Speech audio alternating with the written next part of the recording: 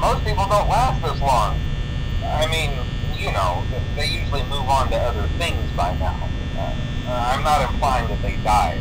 That, that, that's not what I meant.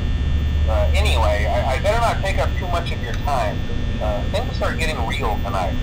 Uh, uh, hey, listen, I, I had an idea. If you happen to get caught and want to avoid getting stuffed into a Freddy suit, uh, try playing dead. You know, go limp.